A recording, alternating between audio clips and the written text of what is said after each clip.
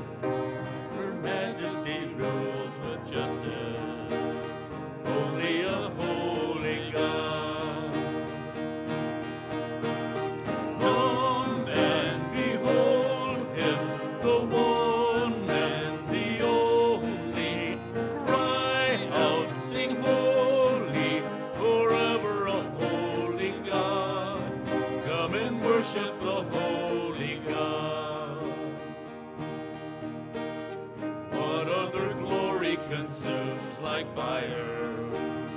What other power can raise the dead?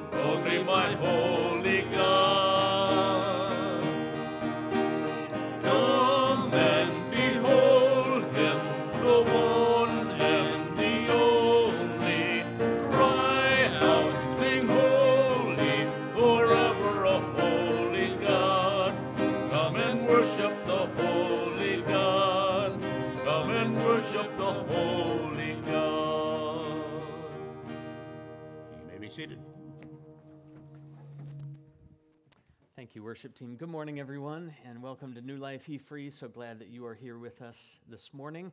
Grab your bulletin if you would, please. We have a, uh special day and a special week ahead of us, and I would like to uh, remind you of uh, what we have coming up. Today, as I'm sure you have noticed, is our Operation Christmas Child uh, packing party.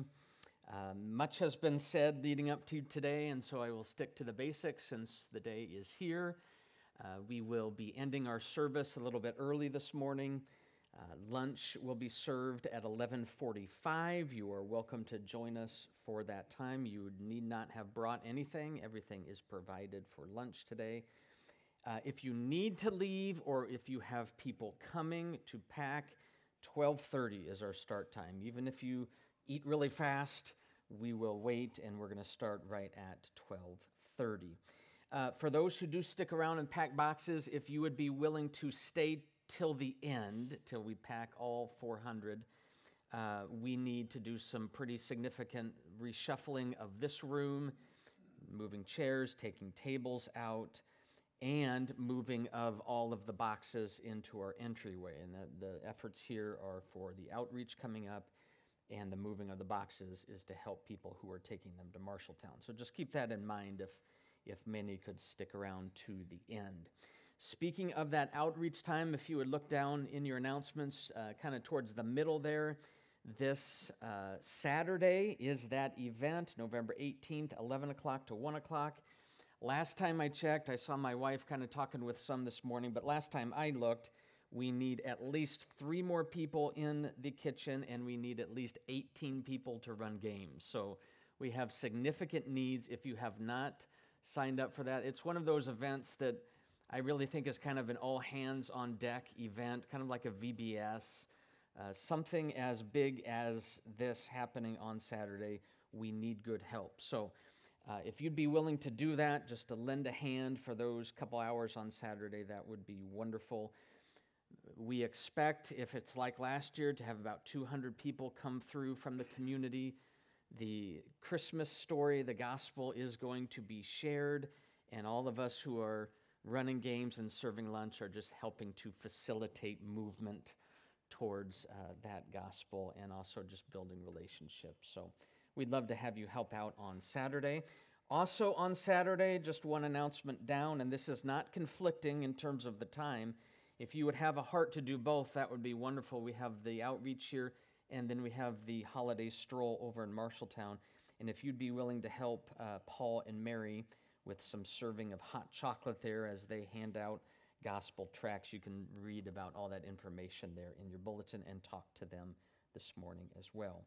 Last couple things I want to mention uh, both youth ministry and prayer are back on for this Wednesday evening. And then don't forget, we have Eternity Bound coming soon in just uh, two weeks from today. They will have the entire 1030 service. Uh, our own Brian Hempy and Jason Hempy and their wonderful singing group as they uh, sing the glory and praises of our Lord Jesus uh, that morning. It'd be wonderful. I only regret that I will miss it, but uh, those of you who will be here will, will be blessed by that. We look forward to it. Uh, Connie has our scripture and prayer this morning. As he comes, would you give your attention to the reading of the word and join him as he leads in prayer? Thank you, Connie. Good morning. And my scripture just went away.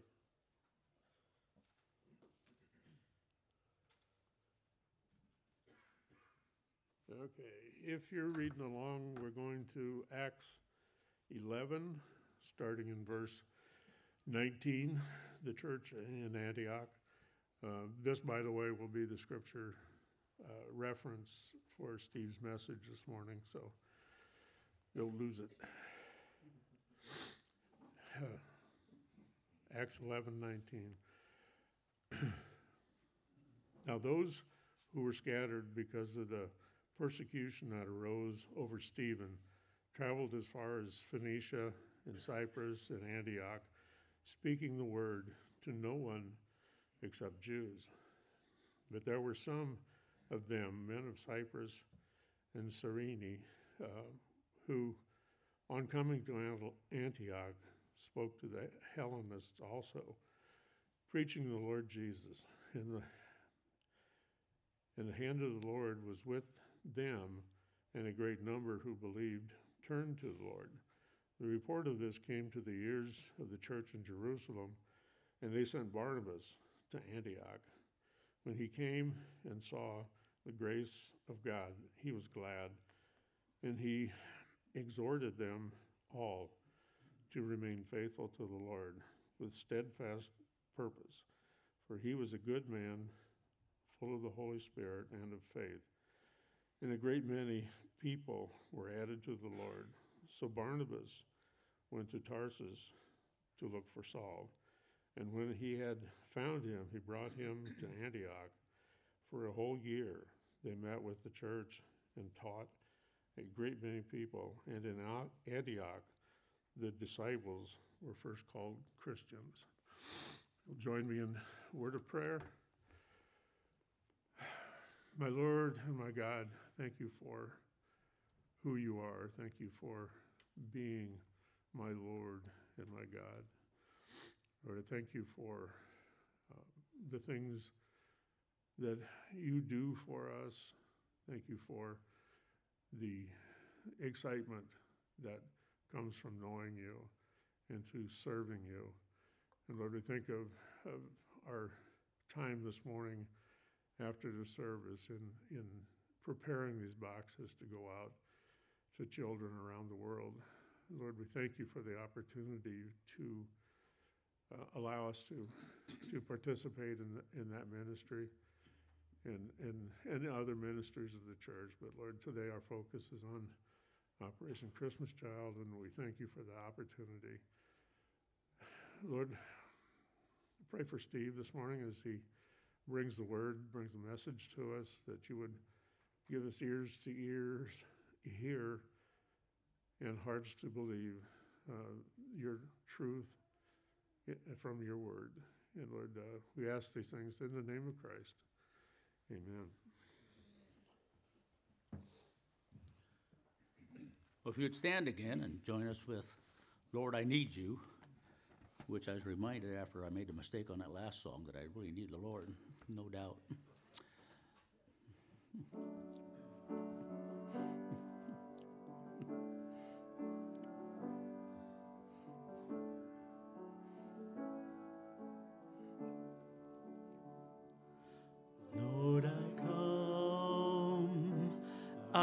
confess.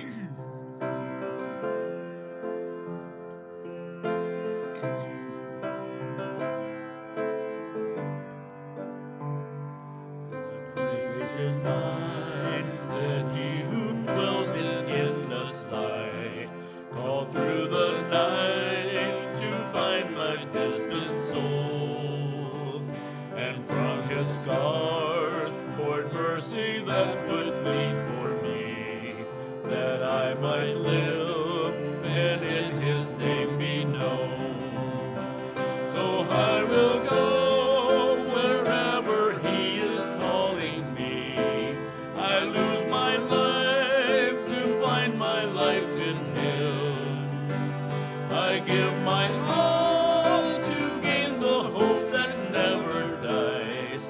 I bow my heart, take up my cross, and follow Him. What grace is mine?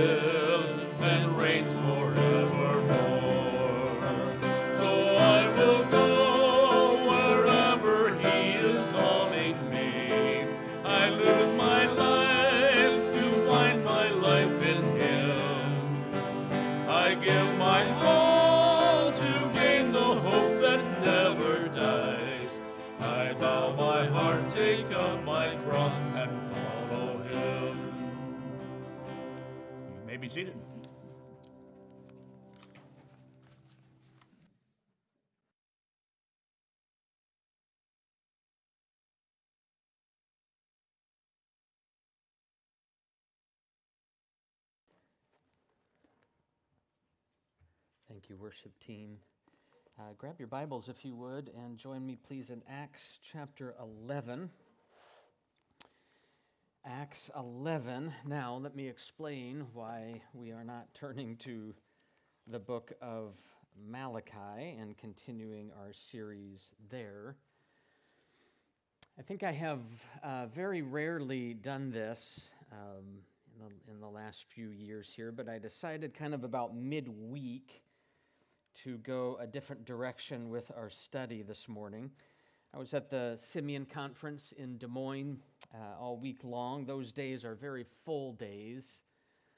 Um, I leave the hotel at about um, uh, 7:45, and we go from about 8 in the morning to about 4:30 in the afternoon in that conference. So I, I just started getting the sense uh, as the week went on that I wasn't going to be able to give the time to the next Malachi passage that I really wanted to. Our next passage in Malachi that we are scheduled to study is about marriage.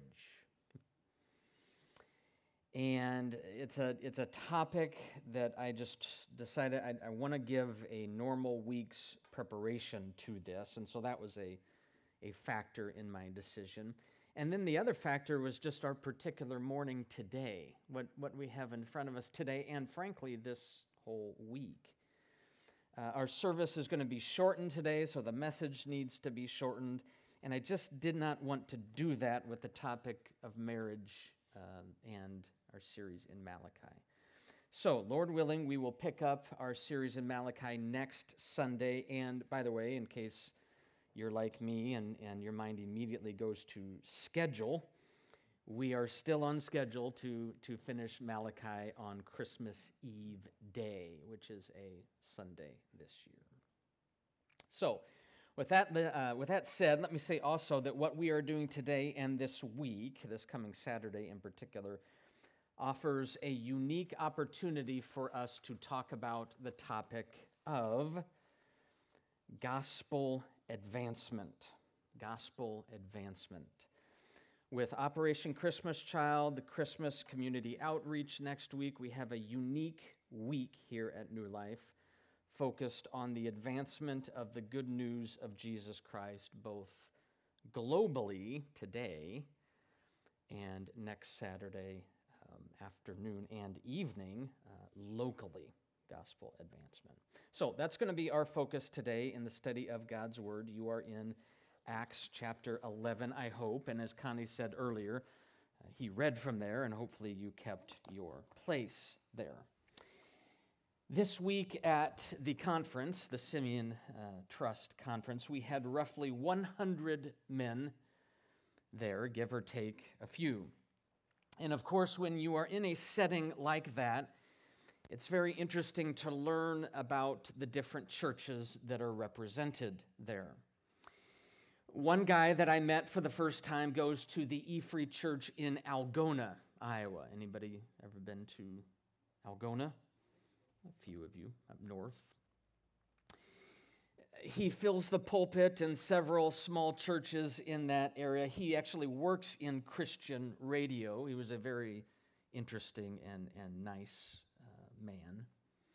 I spent a good bit of time talking to a pastor at an E Free church in a, in a town just a few miles north of us, and we talked a lot just about the ups and downs in their church right now.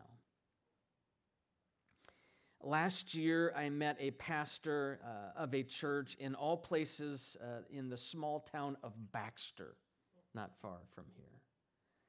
Wonderful uh, young man, and uh, got to see him again.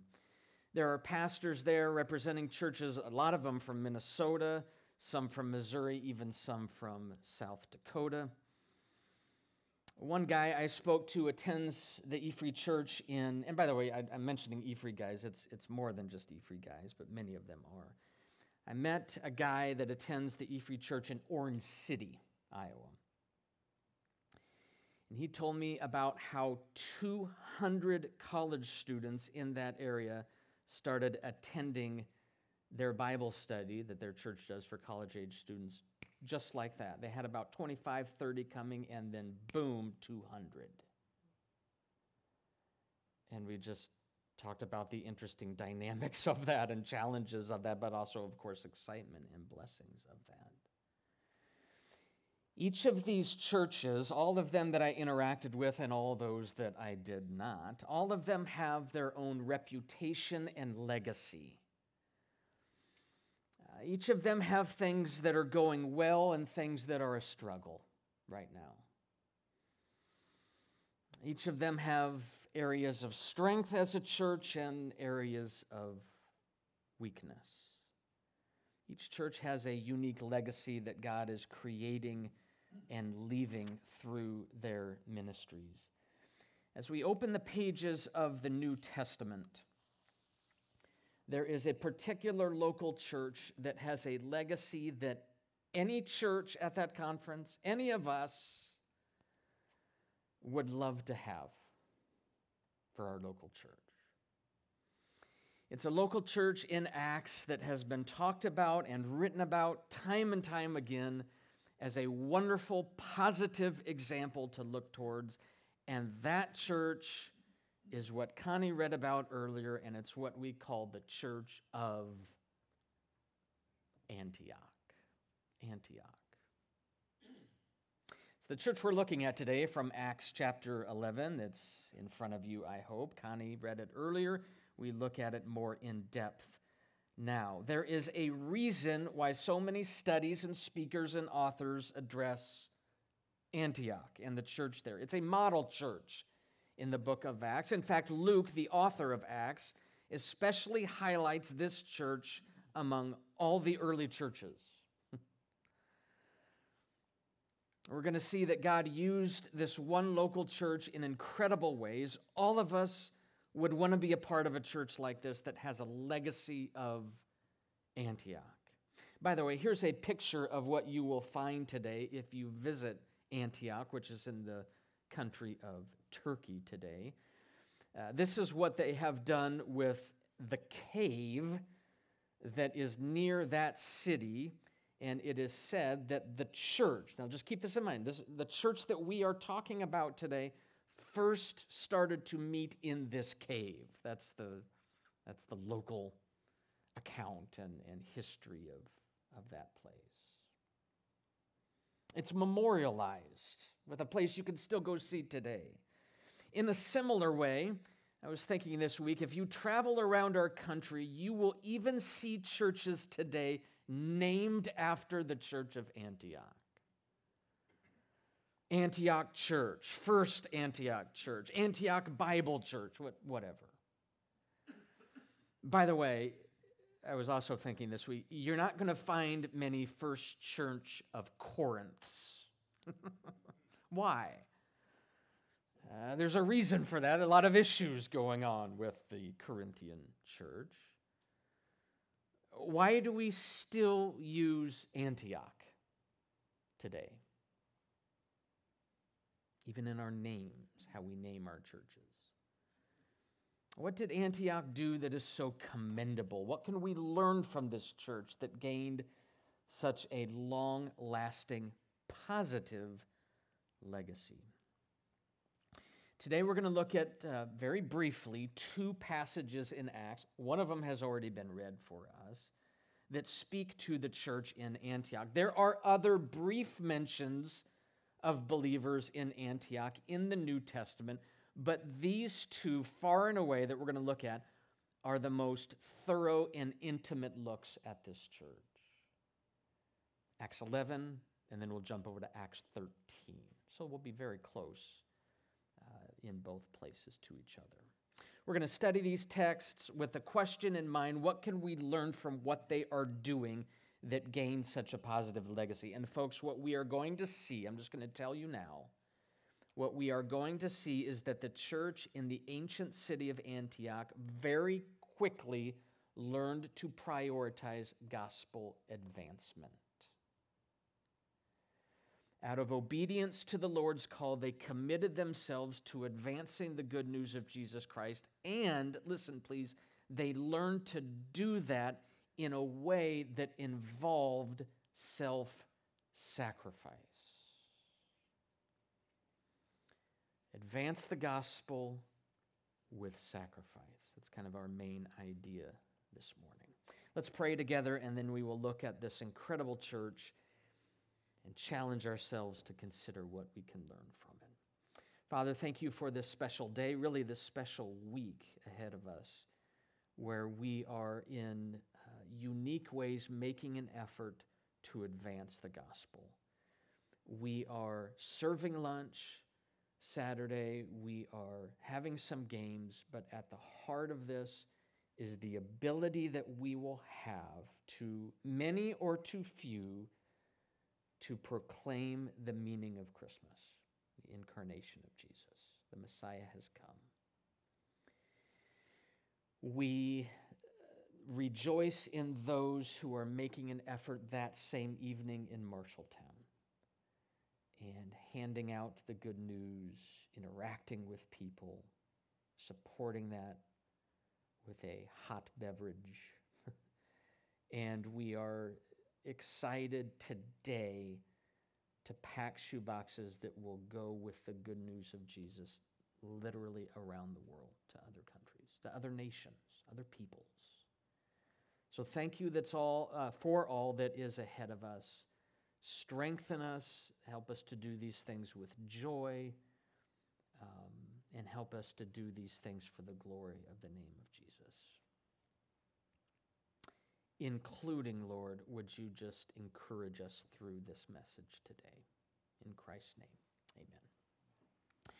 All right, let's begin by taking a look at this special church, and we're going to talk about first Antioch's backstory. Okay, we need to understand uh, this information at the first stop in order to really feel the impact at the second stop. Okay, so you are in Acts 11. But let's begin with this point, a little bit more of the backstory. We need to remember Stephen and the stoning of Stephen first. It's kind of a good starting point. Uh, this book of Acts begins with the followers of Jesus centered in the city of what? Where do they start? Jerusalem. That's where the disciples were when Jesus died and rose again. That's where they were when the Holy Spirit comes at Pentecost. Jerusalem is where all the followers of Jesus continued to gather and where they worshiped together. That just became the center, the hub for the first church. But then comes Acts 7. And you can flip there if you want. We're not going to read from it, but you can skim if you want to. Acts 7. And one of the believers there is murdered by the Jewish religious leaders, and his name is Stephen with a PH. I like the V, I'm a V. So this is Stephen with a PH. And our focus for today is not so much the account of Stephen's death, but the effects of his death. Okay? The immediate effects of his murder literally, this is not an overstatement, is one of the great turning points in church history. Listen to Acts 8:1. You might have it in front of you. It's also on the screen. And Saul, of course we know this is Saul Paul, approved of Stephen's execution, and there arose on that day a great persecution against the church in Jerusalem, and they were all scattered throughout the regions of Judea and Samaria, except the apostles, the 12. Listen, folks, after Stephen died, great persecution arose against the church, and that acted as an explosion, if you will, that scattered the believers across that region. They are scattered on that day to other countries and areas of what we now call the Middle East. Now, with that reminder, we are ready for the birth of the church in Antioch. Okay? You are in chapter 11. I want to read, uh, reread a portion of it. Look at verse 19. Acts 11 19. Now, those who were scattered, notice it picks up right at that scattering, because of the persecution over Stephen, traveled as far as Phoenicia and Cyprus, and here it is, Antioch, speaking the word to no one except Jews, but there were some of them men of Cyprus and Cyrene, who on coming to Antioch spoke to the Hellenists, Greeks also, preaching the Lord Jesus. And the hand of the Lord was with them, and a great number who believed turned to the Lord. We see in these verses that some of the disciples who were scattered from Stephen's death landed in a city called Antioch. By the way, Antioch is about 300 miles north of Jerusalem. It was the capital city of the Roman province in that time of Syria. It was a big city, estimated population of about 500,000, which is the size of Kansas City, Missouri. Pretty big. It was home to all kinds of people. It was a busy city, lots of different cultures. It was a dark city. Uh, we mentioned Corinth earlier. One author says, quote, Antioch is second only in wickedness to Corinth. it's a wicked city, dark city. All kinds of cultures, which meant all kinds of false gods who were worshiped there Greek gods, Roman gods, pagan gods. The most popular in the city was the Greek figure Daphne, whose worship involved some very immoral practices. So, Antioch is a very big place, a very spiritually dark place, but a great opportunity for the gospel, right? And the early believers recognized that. Uh, verse 19 says that some of the scattered believers spoke the word or the good news of Jesus to the Jews there in Antioch. But then 20 comes along and tells us that a couple of them, nameless heroes in the Bible,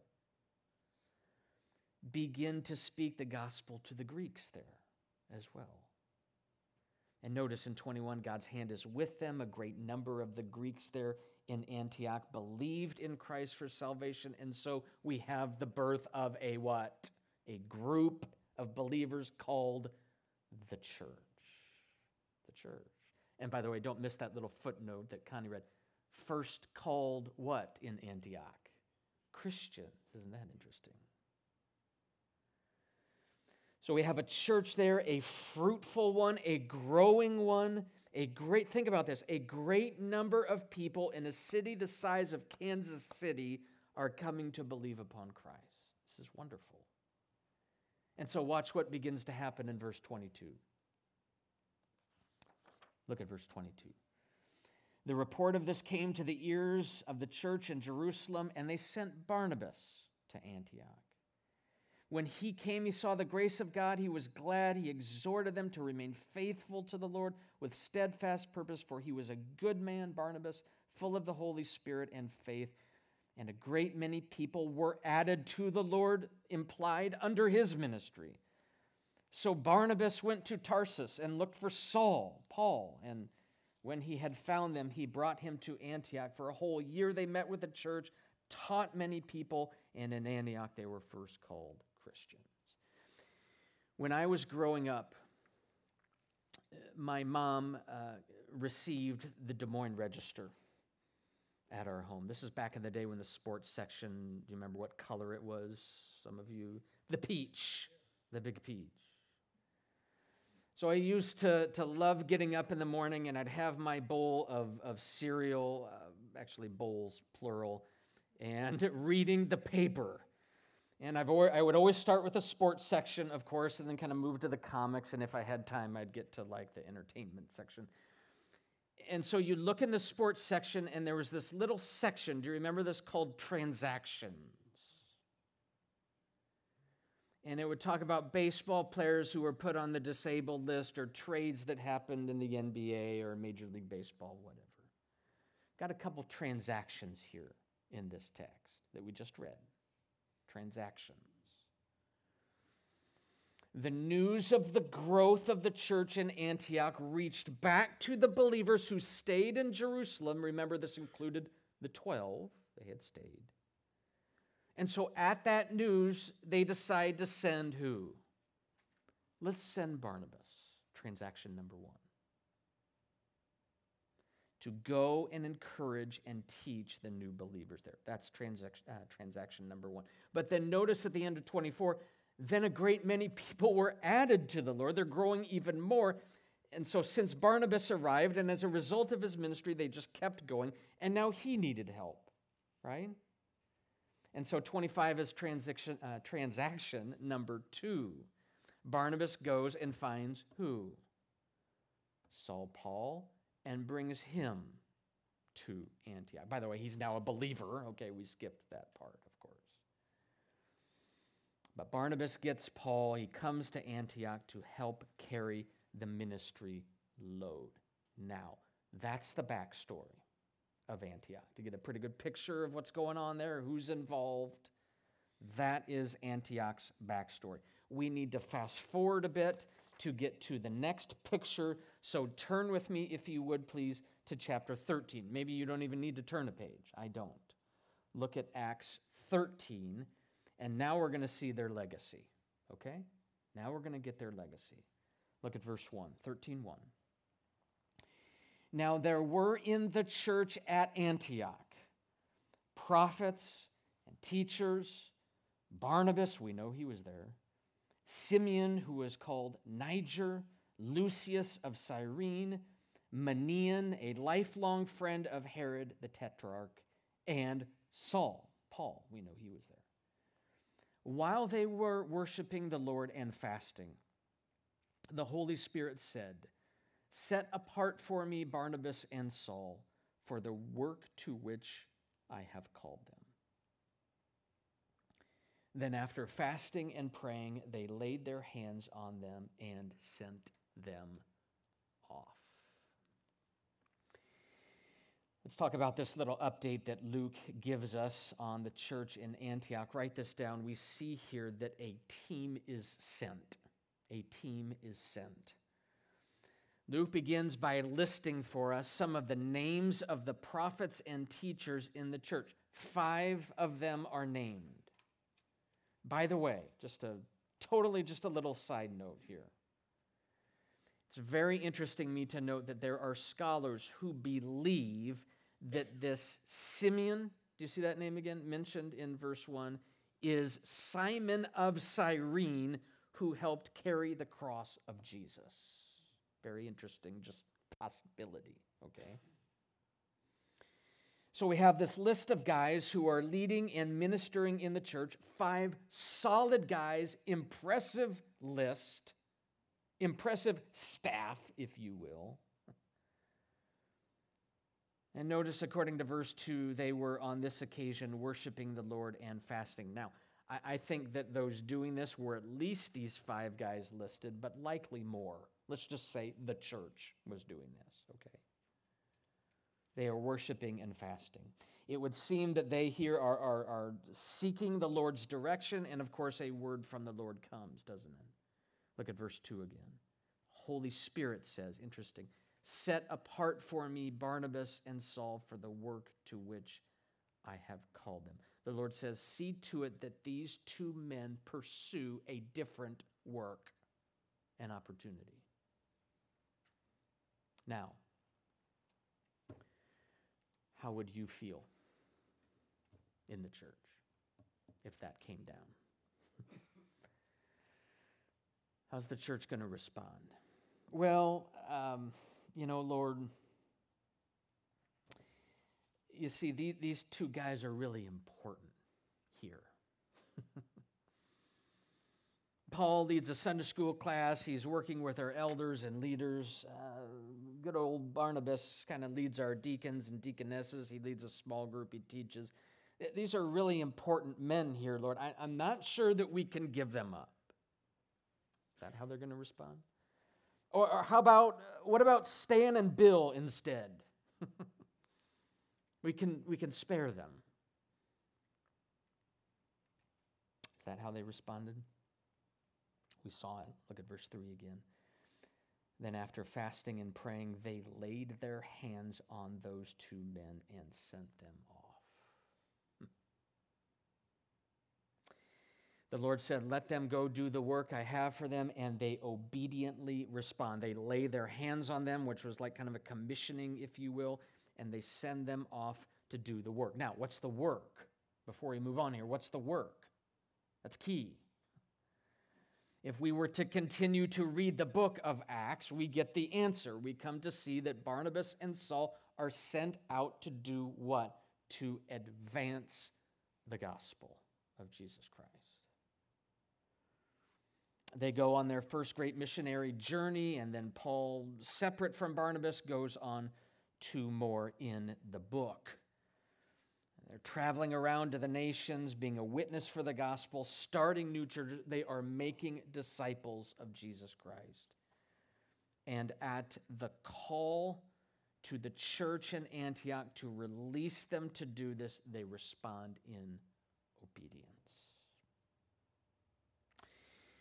We have read our text for today. As we begin to wrap up this morning, let's talk about this last section here. We're going to call it Antioch's legacy their legacy, and today.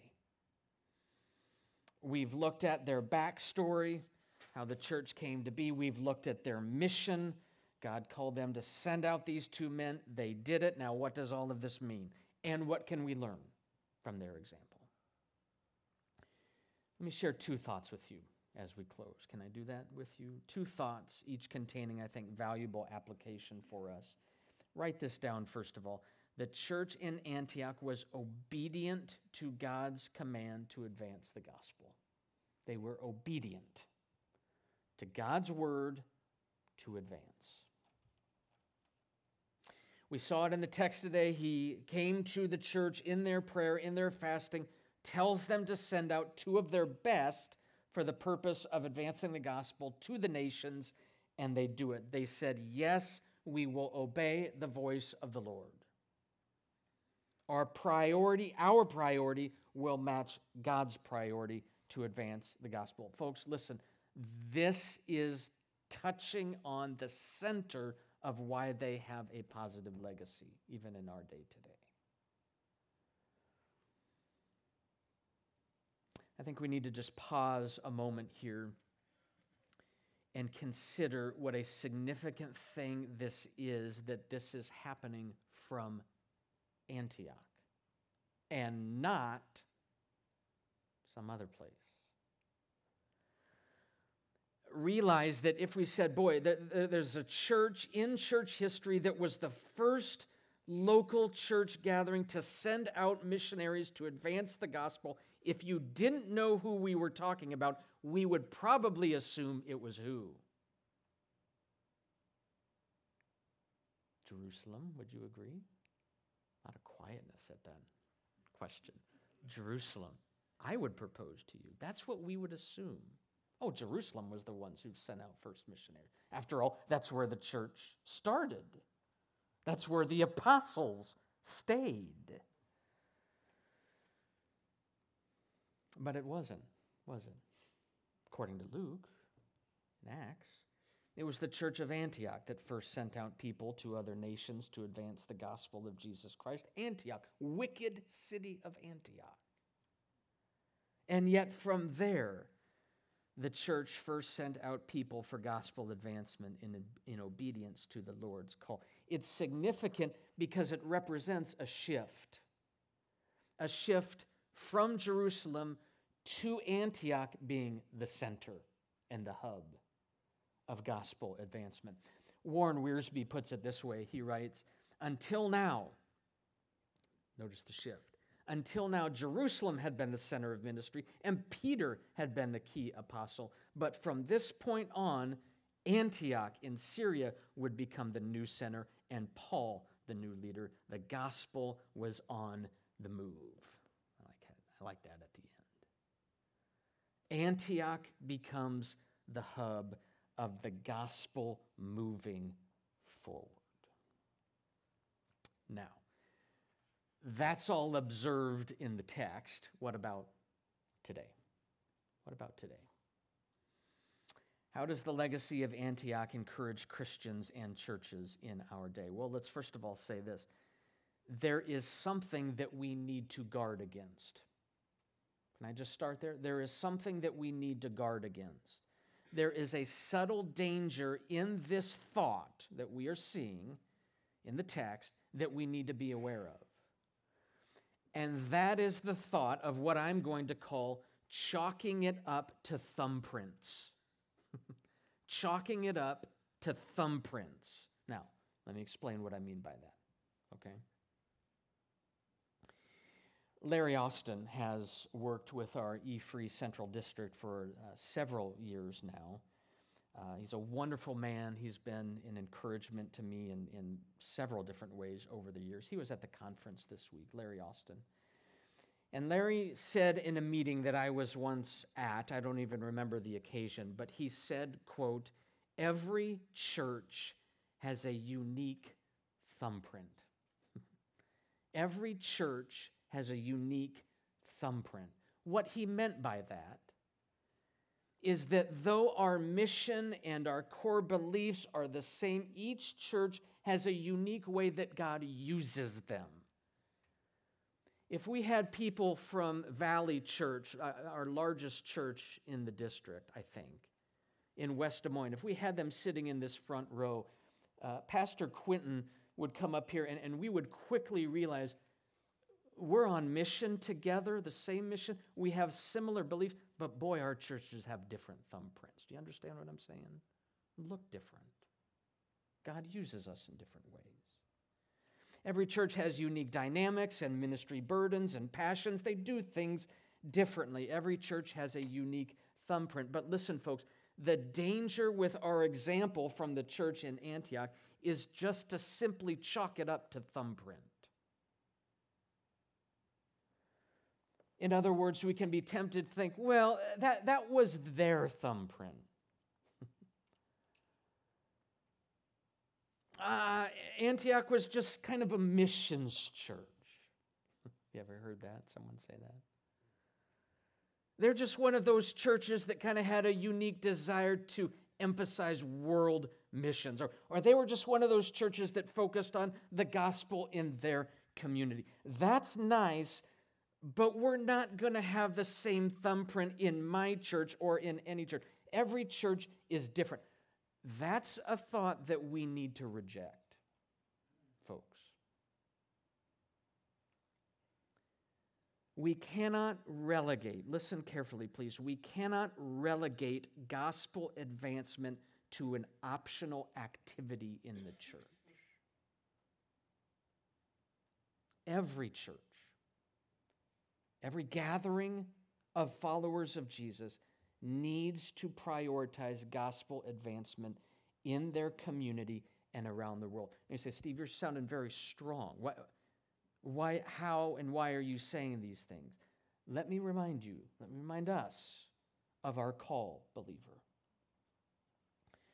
God came to those fasting and praying in Antioch with a call to gospel advancement. Here is likewise our call. Earlier in the same book that we're looking at, the Lord Jesus said himself to his followers, You will receive power when the Holy Spirit comes, and you will be my witnesses here and in the country next to you and around the world. Just days earlier, he had said to his followers, captured by Matthew, Go Make disciples of all nations, baptizing them, name the Father, Son, Holy Spirit, teaching them to observe all that I have commanded you. Go and make disciples. To the Corinthian church, Paul spoke of believers being ambassadors for Christ. That's who we are. That's our identity, which means engagement. An ambassador of the United States engages the people out there in that other country. We are called to engage for the sake of the name of Christ. Peter writes that we should always be ready to give an answer to people who ask us, hey, what, what's, why, why are you so hopeful? to the hope that they observe in us, which we, we know is Christ. And in Philippians 1, Paul says, I rejoice in the advance of the gospel. Even when it means people are taking advantage of me in prison, I rejoice because the gospel is blazing a trail in Rome. Philippians 1. Listen, loved ones, here's the point. This is not just some nice passion or burden that the church of Antioch had. It's not just their unique thumbprint. Oh, good for them. They were excited about advancing the gospel. Maybe my church will, or maybe we'll focus on something else. Now, listen, loved ones, advancing the gospel is our call from the Lord Jesus Himself. Our call is to make disciples of all nations. Our call is to be ambassadors of Christ in the environments that He has placed you in, believer. Our call is to be ready to give an answer for the hope that people see displayed in us. That is our command, and we must live that out. Let me just say as we wrap up this first point, let me just say if, if you have chosen or are choosing New Life to be your church home, um, you, you need to understand that gospel advancement is something that we are going to prioritize as a church. If you choose to worship here, you have chosen to be a part of a church body that started eight years ago by prioritizing this, and we are going to continue.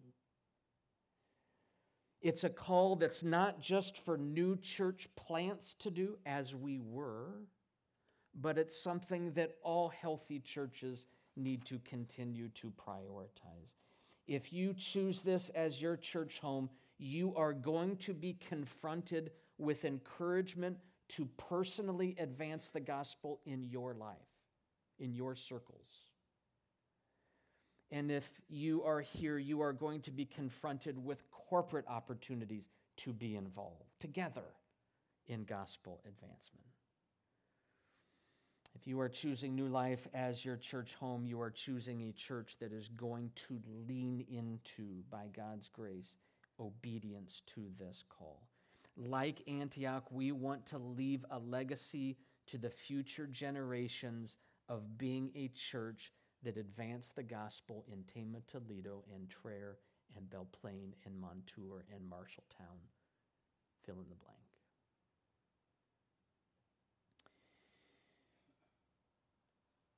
By the way, the ways that we do that, and I think this is important just to, to talk about as, as, a, as a body, as a family, the, the ways that we do that may change.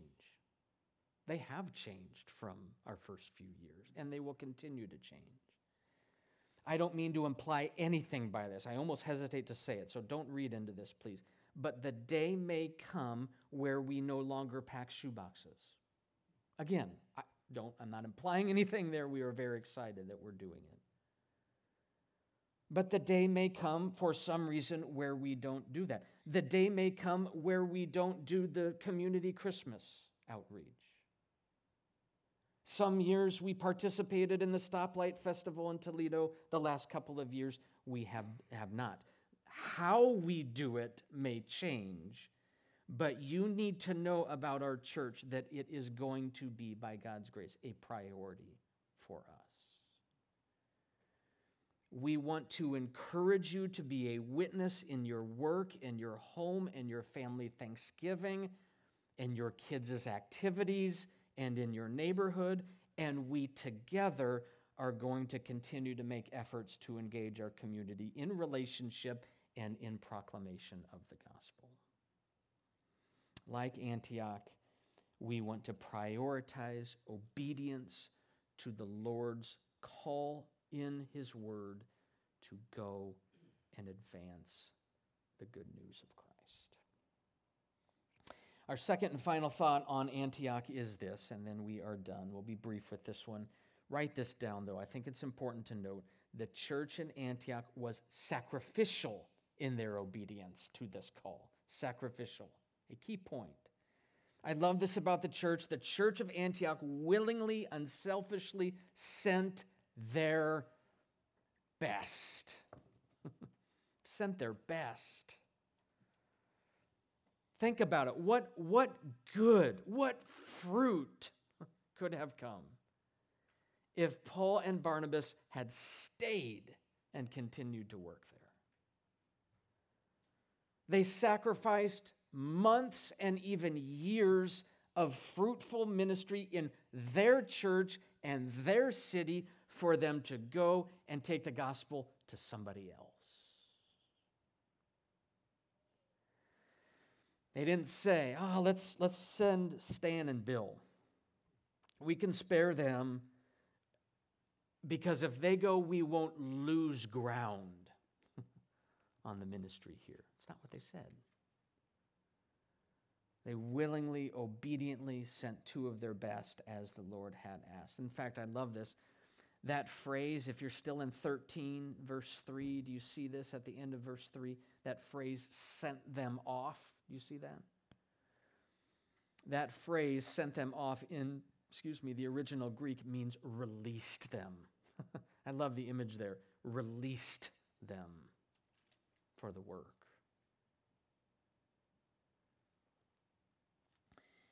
These two men had been very key leaders in the early days of this church here in Antioch, encouraging, teaching, witnessing in their city. And yet, in obedience to God's call, they released them for the work in order to go reach others, the nations. There's a good lesson for us in there, I think, folks. Is, is our advancement of the gospel involving sacrifice? Just ask yourself is, our, is, is my effort to advance the gospel involving sacrifice? For you to advance the gospel, believer, it will and should involve sacrifice. It's going to involve a sacrifice of time and your schedule. You invest in that relationship with a non believer, you have them over to your house, or you go out to the Mexican restaurant together, so you build a relationship with them. It's sacrificing your time and your schedule. Sometimes our gospel advancement is going to involve financial sacrifice. I love that our OCC team of ladies, who, uh, if I forget to say this later, thank you to our ladies who have put in so much work towards today. I love that our OCC team of ladies here at New Life has a heart to make sure that we are sending quality items in the boxes. I love that. I love that heart. That the gospel we are sending being complemented by quality items. That, that's a financial sacrifice. Are we as a church sacrificing for the sake of gospel advancement? Are you individually, believer, sacrificing for the sake of gospel advancement. I close with this. I mentioned that Antioch became this hub of, of gospel advancement in their day, the center kind of out of which things flowed. Pastor Bob Cosbo is the pastor over at the Ephraim Church, Grace in Marshalltown. I remember Pastor Bob often, multiple times, telling the story of when he was growing up in a, in a little church in Gilbert, Iowa. Gilbert, just north of Ames. We have some people from Gilbert in our church. The Rickards are from Gilbert. He, Bob, uh, tells the story of how his youth pastor, well, this is back in the know, late, late 70s, early 80s, his youth pastor growing up told the students there is no reason why Gilbert, Iowa cannot be the hub of the universe. it's kind of interesting thought, isn't it? What does he mean? He meant there's no reason why God cannot make this one, at that time, little community one of his primary places to send out of, to send the gospel out of. Support missionaries, send missions teams, witness to our community in Gilbert and in Ames, send out pastors, send out missionaries. And then Bob, whenever he would tell this story, he would always reference how God actually did that. He actually did that in ways that they could see and notice. And many from that generation in Gilbert did become people who were committed with their lives, some in full time ministry, some in not, but they ended up committing their lives to follow Christ and set their hearts on honoring Him and to advance the gospel. And by the way, I will testify, I have met a handful of adults now, they're probably in their around 60 or so, who grew up in Gilbert with Bob, passionately following Jesus Christ.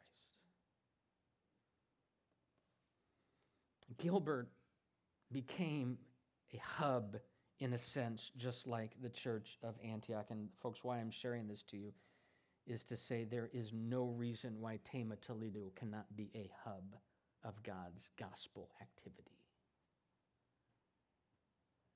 A hub where 400 shoeboxes go out of today.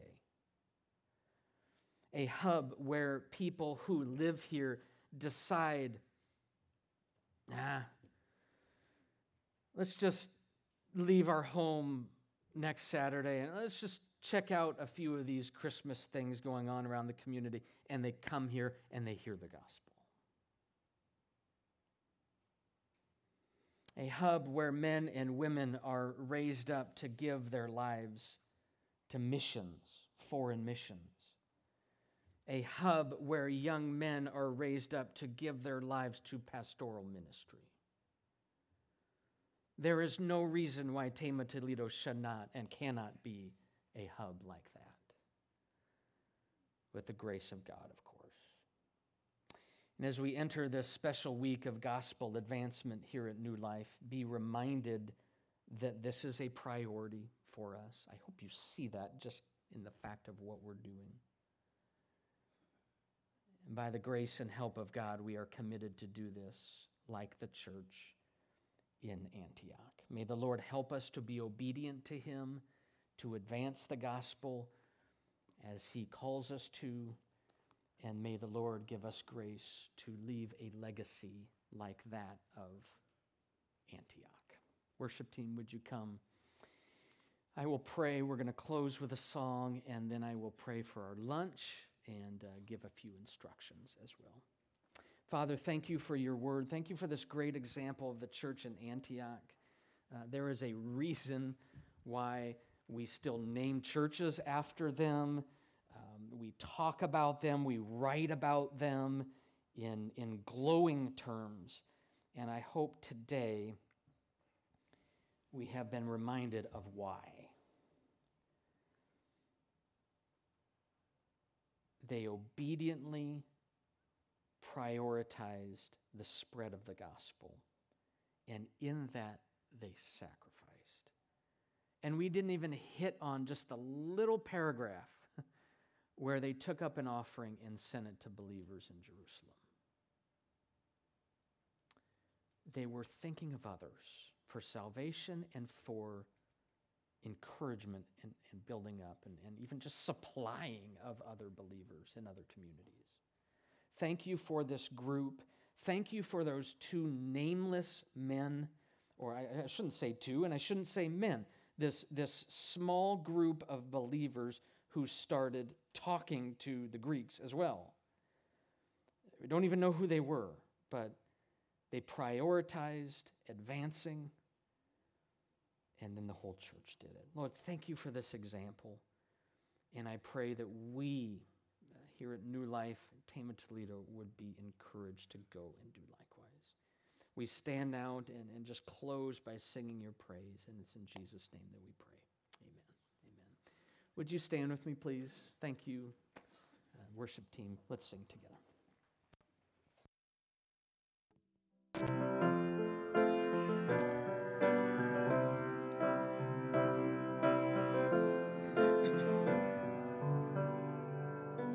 Father of lights, giver of gifts, there is no shadow in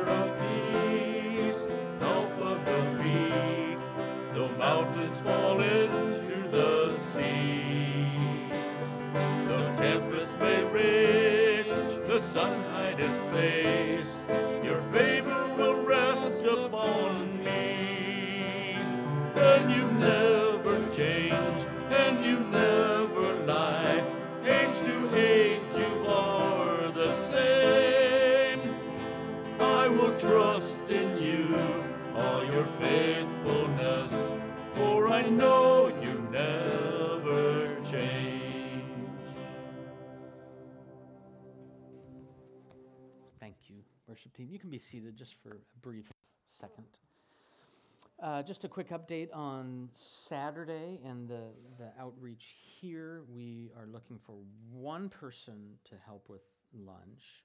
You don't need to bring any food, it's just serving lunch.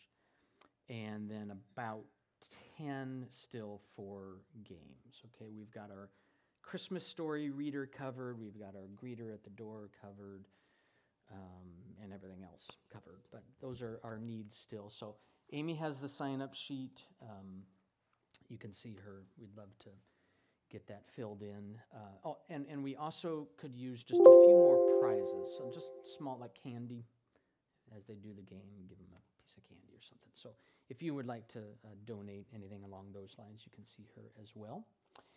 Um, I think this, I well, I'm going to wait on that because I think all of our ladies are out of the room at the moment. So uh, I, I, would, I do want to thank those ladies. They provided the lunch for us, and Linnell um, took care of the sandwiches that you're going to eat from Subway, I believe. So uh, Linnell did all of the ordering and picking up. In fact, she's probably getting them right now. So we said 11:45 is when we're going to eat. We're a few minutes ahead of that, but you can make your way back there. I will pray for lunch right now and eat at the pace that you want to eat. But if you get done early, we're, we will start the packing right at 12:30.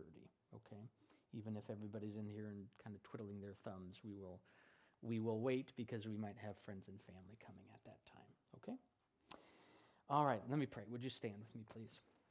Father, we thank you uh, for this time we've had to worship, to hear your word. Thank you for this time now just to eat a meal together and share that time. And of course, we look forward to uh, about 50 minutes from now uh, starting to pack these boxes.